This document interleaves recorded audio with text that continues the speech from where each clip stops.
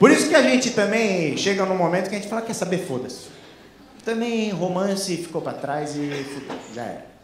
Agora o negócio é estratégia, estratégia. Estrategicamente a gente vai conseguir comer o pessoal, comer o pessoal. É isso aí. Quem é solteiro aí? Quem é solteiro aí? Escreve um negócio aqui, escreve um negócio aqui, escreve um negócio aqui.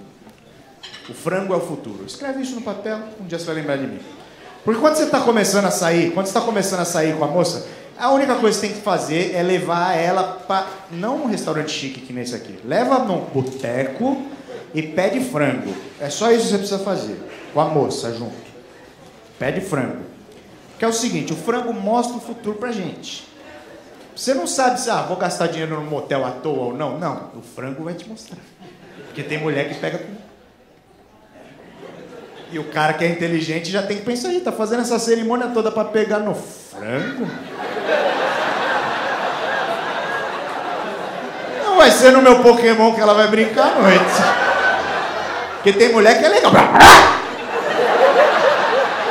Leva pra casa agora. Yes. Não espere o show terminar. Aliás, uma coisa muito importante, isso tem que combinar entre homem, todo mundo, homens e mulheres, de hoje em diante. Você vai almoçar, tem frango na mesa e a sua mãe está presente, vai embora. Você não quer ver como que sua mãe pega o frango. Que não sai da sua cabeça nunca mais.